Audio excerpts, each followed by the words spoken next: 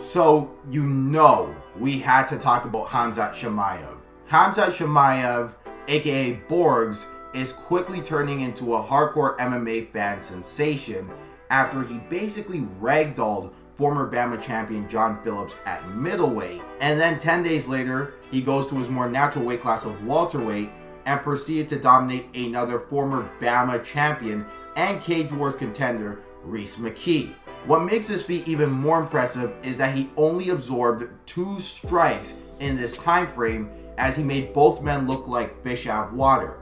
That's why, even though the Swedish international by way of Chechnya is only 8 0, fans are extremely high on him, with many fans already comparing him to another Russian legend, Khabib Nurmagomedov, and some already saying he should be fighting someone in the top 15.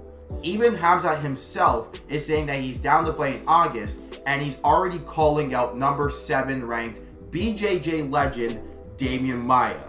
Oh, and as of recording, he's called out Jorge Masvidal, Nate Diaz, and Conor McGregor. So, yeah. now, my initial reaction was to tell everyone to pump the brakes. Yes, his debut was impressive, and while he can turn out to be something special, we really don't know. MMA fans have already seen this story before. The unknown MMA fighter with an impressive debut, but he's fought under 10 times and he's pushed too fast, too soon. Remember, for every Francis Ngannou, there are probably three Goran Reliches, Houston Alexanders, and Sokoudjous lying in their wake. So, for everyone on the hype train, please get off. You'll regret it. Alright, that's my video, guys. Please subscribe. Roll credits. But in all seriousness, while I do think cautious optimism is the best approach for fighters like Chimaev, I am really wondering if we should pump the brakes on him or if we should just let him go. I mean, is all this hype warranted or are we being sold wolf tickets on Hamza Chimaev? Well, here's in my opinion why the hype is and isn't warranted. So I'm a semi-positive guy, so we'll start with the positives. Well, one thing I think everyone on the hype train is right about is the location Hamza is from, and moreover, why that influences his style. Hamza is obviously born from Russia, but specifically the Caucasus region. This is important because just like Khabib Nurmagomedov, Zabit Magomedsharipov, Islam Makhachev, Zabir and many other tough fighters, Chimaev is from the region. Now, I'm not going to get into the struggles that a lot of these guys have had, and that's seemingly leading them to have mental toughness because I'm not a psychotherapist I'm not going to play one on YouTube. What I will say though is a lot of these guys have developed a very similar fighting style. For example, just like Khabib, Chimaev also uses the Dagestani handcuff and to great effect. They both use very similar moves and they even approach their takedowns the same way in the sense that they like to break their opponents down with chain wrestling. This is a recipe for success that a lot of fighters in this region have used to great effect. Except with Chimaev, he might actually have a higher ceiling because he's such a great athlete. Which leads me to another point, and take this with a boulder sized grain of salt, but Chimaev might actually be a better athlete than Khabib or Zabit. Now, again, I said athlete, not fighter.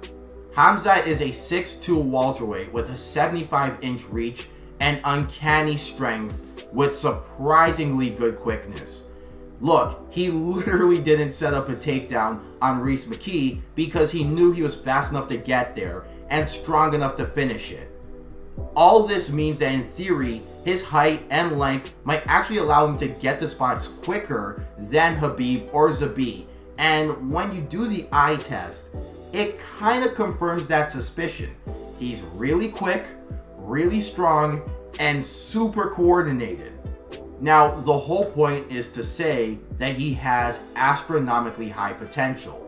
Many people have already talked about Chimaev's grappling and his athleticism, but the real scary thing is when you look at his older fights, you start to see that his boxing is really crisp.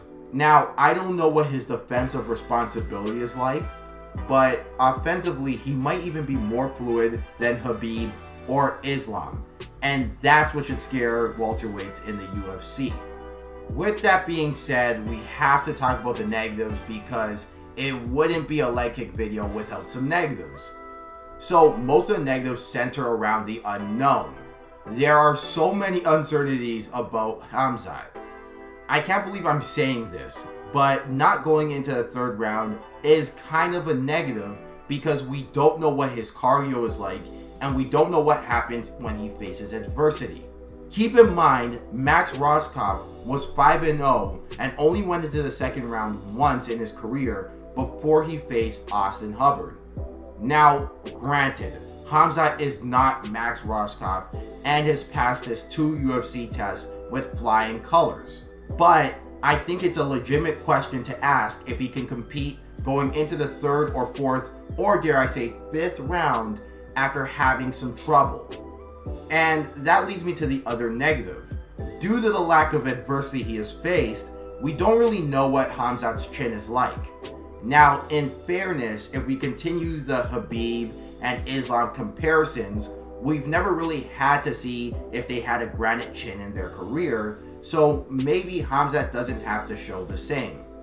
With that being said, all fighters at some point do have to show that they can take a hard punch or kick to the face, and we don't really know how Khamzat will respond to that. So generally, because Khamzat has never really had to face adversity, we don't really know how he responds to it.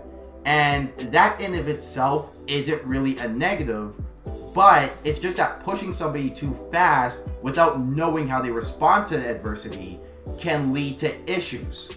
If you push a fighter too fast, too soon, at too high of a stage, they don't ever really get a chance to grow. And their growth as a human being, let alone a fighter, does get stunted. So, back to the title of this video. Should we pump the brakes on the Khamzat Chimaev hype train? Probably, as he's just a bit too inexperienced and it's just too early in his career to say that he's the second coming of Khabib.